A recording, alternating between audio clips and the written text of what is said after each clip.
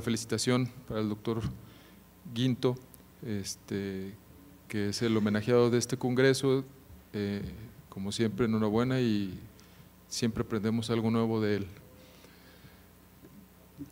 Quiero hacer una referencia especial, yo trabajo en Guadalajara, eh, a partir del martes 9 de, de este mes,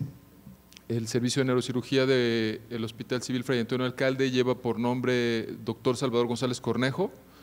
este, en homenaje a mi maestro en vida y eh, pues es un, es un orgullo ser parte de los hijos del doctor Salvador González, que fue el pilar de la neurocirugía en el occidente del país. Este es un trabajo evidentemente en, equipo. Esta es una foto que se tomó con múltiples egresados del, del Hospital Civil Fray Antonio Alcalde eh, en el homenaje de, mi maestro. Eh, me ha tocado a partir de, julio del 2015, más o menos a, esta fecha, hacer una recopilación de aproximadamente 571 pacientes con tumores cerebrales. De estos 571 pacientes, en este corte, vemos que eh, los adenomas forman con 144 eh, pacientes, una de las más grandes poblaciones de la patología actual a, tratar, en, creo yo, en cualquier centro hospitalario. Sin embargo, desde el 2010 me di la tarea de empezar a hacer eh, o a juntar la casuística acerca de este tipo de tumores, particularmente hablando de los abordajes endonasales endoscópicos. Anteriormente al 2010 yo realizaba la cirugía microscópica ah, convencional y en julio del 2010 decidí por contar con un, con un endoscopio en la mano, tomarlo, meterlo y a partir de ahí empecé a realizar eh, abordajes endoscópicos eh, prácticamente puros eh, para este tipo de patología. A la fecha llevo 388 pacientes tratados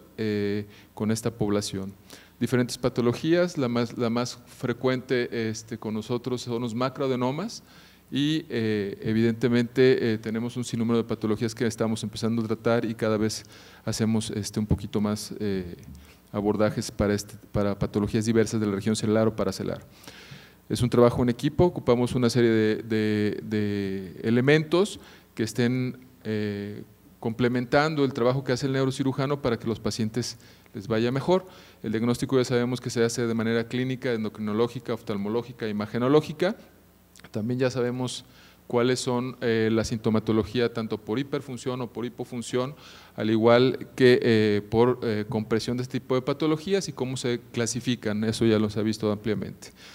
Sin duda, los estudios de imagen nos ayudan y nos llevan de la mano para poder planear nuestros procedimientos quirúrgicos, particularmente cuando los vamos a hacer limitados a, a la patología que está en la región celular supracelar y en experiencia eh, particular generalmente no metemos lesiones que se encuentran con extensión eh, paracelar de, por este tipo de abordaje. No cabe duda que las manos hacen lo que los ojos ven y eso en mi punto de vista me ha ayudado mucho. El hecho de, brincar o de cambiar al uso del endoscopio es que para mí eh, y en mi experiencia la magnificación que me da el endoscopio y la iluminación que me da el endoscopio ha mejorado eh, mi visión y ha mejorado mis resultados con mis pacientes. Sin lugar a duda, la anatomía, como ya lo vimos con el doctor Monroy, es lo más importante para podernos guiar en el avance de este tipo de cirugía e independientemente por cuál sea la preferencia, sea endoscópica o sea microscópica, desde el punto de vista eh, de eh, la magnificación de imágenes, los abordajes pueden ser de la manera tradicional, eh, sublabiales eh, o actualmente transeptales o directamente a la pared anterior del seno esfenoidal. Desde el punto de vista endoscópico hay requerimientos o hay forma de poder contar con elementos adecuados para poder tener una exposición adecuada desde el piso anterior hasta la región clival, lo hemos visto en todas estas, en todas estas charlas de ayer y ahora y evidentemente en el curso de base. Y eh, nuestro lugar a tratar eh, particularmente es la región del seno de la, región celar, eh, teniendo cuidado especial evidentemente con las carótidas paracelares. Y en aquellos pacientes que tenemos que hacer extensiones, pues bueno, el conocimiento anatómico para y las técnicas quirúrgicas para, para los eh, procedimientos con extensión pues son importantes. La planeación quirúrgica, ya lo comentaba el doctor Juan Luis, es un momento muy importante desde el punto de valorar qué tipo de, seno tenemos, si tenemos o no eh, algún tipo de eh, septo intracelular, para poder guiarnos cerca de la referencia eh, adecuada anatómica a nuestra navegación. Sin embargo, podemos también utilizar algunos dispositivos de navegación que nos pueden ayudar a llevar un procedimiento más seguro. Sin embargo, pues no todos los navegadores son, como ustedes pueden ver, completamente eh, exactos. ¿no? Entonces, el navegador da una orientación, pero evidentemente el conocimiento anatómico eh, es nuestra, nuestra vía y nuestra base. Independientemente de cuál sea el abordaje que nosotros tenemos que eh, o que queramos utilizar, pues el abordaje transfenoidal es un abordaje completamente, o vamos a decir, excelente para tratar este tipo de patología y eh, aquellas personas que no están familiarizadas en ese abordaje, también el abordaje microquirúrgico transcraneal puede ser efectivo para el tratamiento de este tipo de patología. Sin duda, el mejor abordaje es el que uno más realice y con el que uno esté más familiarizado. Desde el punto de vista de los puertos de trabajo en el abordaje eh, endonasal, podemos trabajar por una, por una narina o por las dos narinas y eh, nuestra forma de visualización puede ser estática o dinámica, esto es, apoyados de un brazo que sujete nuestra, nuestra vía de, iluminación y de magnificación de imagen, como lo es el, brazo del endoscopio. Esto es como yo habitualmente lo hago, yo uso un abordaje monoportal, sigo utilizándolo porque habitualmente trabajo adenomas que no tienen extensión paracelar y eh, eso nos, nos genera eh, una buena eh, forma de visualizar sin, sin necesidad de tener un ayudante totalmente dependiente de él. En los últimos seis meses o un año mis residentes han dado la tarea de hacer una eh, visualización dinámica de este tipo de, magnificación, entonces ya eh, tenemos un año más o menos que algunos lo hacemos con una visualización dinámica. Sin lugar a duda, la cirugía transfenoidal, como ya lo vimos desde las pláticas anteriores, tiene sus pasos y no me voy a entretener mucho, sin embargo quiero demostrarles pues que la porción nasal es una parte importante porque no estamos acostumbrados totalmente a la visión que nos puede dar, perdón, tecnología, nos puede dar, no corre el video. ¿Alguien sabe cómo puedo hacer para correr los videos? Bueno, eh, la visión nasal es muy importante y esto eh, nos genera una imagen eh, compleja porque es lo que menos estamos acostumbrados a hacer. Habitualmente los abordajes los hacen en muchos eh, centros los otorrinos y nosotros no, no somos este, los que hacemos este abordaje, pero en lugares donde no contamos con el servicio de otorrino, la identificación de la anatomía nasal normal igual de las variantes anatómicas que pueda tener, nos pueden dar evidentemente eh, la característica adecuada acerca de si tenemos alguna deviación septal, alguna hipertrofia de cornetes, pólipos nasales alguna concha bulosa, ah, que sí corre allá, pero acá no.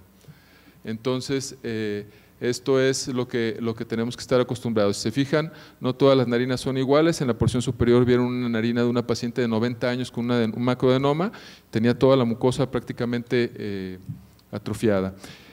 Después de, pasar por la parte esfenoidal, continuamos de la región nasal o la porción nasal, empezamos con la región esfenoidal y esto lo que busca es evidentemente llevar a la visualización adecuada del rostro esfenoidal, evidentemente de localizar los dos ostium, este, de la pared anterior del seno esfenoidal, así poder eh, quitar la pared anterior del seno esfenoidal y poder eh, evidentemente entrar en el sitio quirúrgico a tratar. Hay que, como sabemos y como ya se ha mencionado, identificar el tipo de seno previo a la cirugía y eh, evidentemente poder ver si hay asimetría en el seno o asimetría en los septos, hacia dónde se dirigen y tener mucho cuidado con aquellos que se dirigen al curso de la arteria carótida interna. Como podemos ver aquí, tenemos un septo prácticamente central, este, como bifurcado, que nos da una guía ah, total también al, sitio quirúrgico. Y evidentemente, como ustedes pueden ver aquí, eh, la anatomía que ya se ha descrito, desde la región celar, la región clival, el plano esfenoidal, la prominencia óptica, el receso óptico carotidio, las prominencias carotidias, son estructuras que tenemos que tener en mente para eh, podernos identificar al momento de estar haciendo eh, el abordaje en esta porción, que habitualmente debe de ser muy amplio, eh, de manera general, con una exposición completa del seno esfenoidal para poder evidenciar completamente el piso celular y no tener o no tener, tener menos riesgo de algún accidente. Aquí estamos viendo con la ayuda de un aspirador ultrasónico cómo eh, utilizamos para hacer un pequeño orificio en el piso celular y proceder a la parte eh, celular de la cirugía transfenoidal. Dentro de la parte celular, una vez que quitamos el piso celular, procedemos a hacer una apertura prácticamente, eh, en lo personal yo la hago lineal y la extiendo con un, con un penfil. la hago lineal porque Alguna vez la hacía en cruz, después le hice redonda y una vez eh, tuve un accidente con una carótida y a partir de ese momento la hago lineal y la extiendo o la, el hongo, la, capa de la dura ahí con, un penfil. Y eso me permite evidentemente tener un buen acceso, ya que tenemos un buen control de dónde están las carótidas para, paracelares, tener un buen acceso a la lesión y eh, hacer una exéresis de la manera convencional como eh, se trata prácticamente con, técnica microquirúrgica, ayudado evidentemente de la visión endoscópica, con eh, mecanismos de tracción, contratracción y el uso de cucharillas o legras. Y eso nos permite evidentemente que eh, podamos tener buenos porcentajes de resección con descensos completos prácticamente de la porción o del, del diafragma celular. Nosotros lo hacemos de manera habitual, como están los cánones, empezamos a, las 6 de la tarde, este, después a la derecha, a 3, 9 y por último a las 12. Nunca entramos directamente a la porción superior y esa es la forma que más nos ha funcionado. Finalmente, eh, terminamos con la la porción eh, de la reconstrucción. Traigo un caso para ustedes, es una paciente femenina de 28 años de edad que llega al hospital con esta lesión. Curiosamente, eh, a pesar de que tiene un poco de, proyección este, retrocelar y evidentemente tiene un, poco de, proyección paracelar, este, decidí eh, operarla por vía transfenoidal con la finalidad de hacer un descenso de la lesión y si el remanente que quedara poderlo tratar con otro tipo de, de técnica quirúrgica, sea o, transcraneal o sea radioterapia.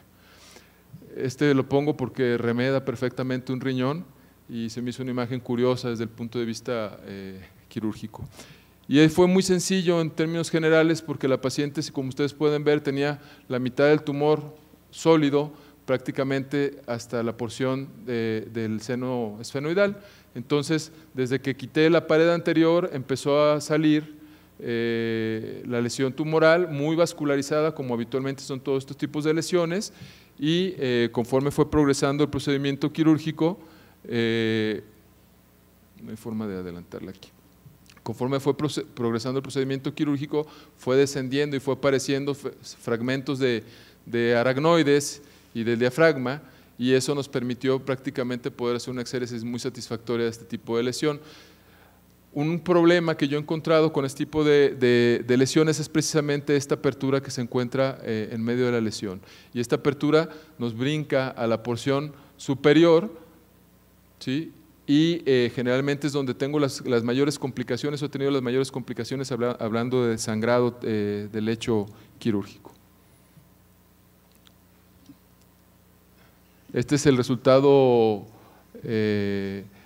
postquirúrgico inmediato de nuestra paciente. ¿sí? Si vean ustedes, es una resección muy satisfactoria, evidentemente tiene un discreto eh, residual hacia las paredes, pero eh, la evolución de la paciente fue muy buena. Traigo otro caso, es una paciente con eh, una lesión con acromegalia y una lesión, perdón, no corrió el video. Ah, es que se corre acá. Una lesión que se encontraba prácticamente eh, adyacente hacia la porción izquierda del seno, eh, este, seno cavernoso, un tumor productor de hormona de crecimiento y que se asociaba, corrió muy rápido, pero que se asociaba a una aracnodocele celar. Entonces la dificultad técnica en este caso fue precisamente poder entrar a la a la porción lateral adyacente prácticamente a la carótida paracelar y esto es el piso celar, estamos haciendo un drilado para posteriormente hacer el, descubrimiento y poder entrar eh, a, la, a, la, a la lesión. Si ustedes se fijan, en cuanto empezamos a hacer el descubrimiento, lo único que vemos es aracnoides, prácticamente es parte de, de la aracnoidocelia lo que estamos viendo que, que, se, que se protruye hacia la lesión y finalmente eh, podemos acceder a, a, la lesión. No, se, no se puede correr de otra manera, no se puede adelantar, disculpen. Y finalmente la reconstrucción, y dentro de la reconstrucción evidentemente ya tenemos eh, eh, bien establecido que se puede hacer con fascia, con sustitutos eh, durales, con aloinjertos o, o autoinjertos, sea de mucosa, colgajos pediculados, colgajos libres, eh, o el, el flap nasoceptal que se ha descrito ya en las otras ocasiones. Y esto es parte, y finalmente lo le colocamos un poco de fibrina, ¿sí? y dejamos un fragmento de grasa por afuera, y lo fijamos con una sonda de Nelaton. Estos son algunos de otros casos, imágenes nada más de estudios pre y posoperatorios, con la valoración pre y posoperatoria y evidentemente los resultados con eh, los estudios de eh, campimetría. Otra paciente, el resultado pre y posoperatorio inmediato con un pequeño residual hacia abajo, pero con una buena evolución clínica y un buen seguimiento. Otro paciente con un gran tumor supracelular y con discreta mejoría visual. Todos nuestros pacientes llevan una valoración campimétrica pre y post eh, quirúrgica. Tenemos muchas complicaciones, creo que como todos, en la curva de crecimiento de este tipo de pacientes. Han muerto ocho pacientes, dos por una lesión relacionada a la cirugía y los otros por eh, directamente a la cirugía por una lesión vascular y los otros por cuestiones endocrinológicas y eh, alteraciones metabólicas y cardiopulmonares. Creo que el abordaje transfenoidal es evidentemente la ruta, una de las rutas más adecuadas para tratar los tumores hipofisiarios. Y dentro de los tumores hipofisiarios, eh, creo yo que eh, sin duda, el crecimiento en cuanto al aprendizaje llevado a la clínica y basado en el laboratorio es lo que nos puede dar eh, los mejores resultados con nuestros pacientes. Tenemos que conocer la anatomía endoscópica, que es otra cosa a las que nos tenemos que eh, prácticamente acostumbrar, y evidentemente también eh, acostumbrarnos a los corredores quirúrgicos, que desde el punto de vista monoportal son complejos, pero que con la utilización de los dos puertos nasales evidentemente eh, genera una mejor, eh, un mejor espacio para la movilización de los instrumentos con toda la libertad y eso eh, nos genera mejor capacidad para la resolución quirúrgica de este tipo de, lesiones. Además, aparte de eso, creo que hay que ganar la, la curva de aprendizaje, se gana primeramente con cirugía asistida, endoscópicamente asistida y eso nos va a hacer a nosotros que tengamos previamente evidentemente un entrenamiento microquirúrgico adecuado y podamos traspolar nuestros conocimientos a otro tipo de, visualización para poder tratar este tipo de pacientes. Muy amables.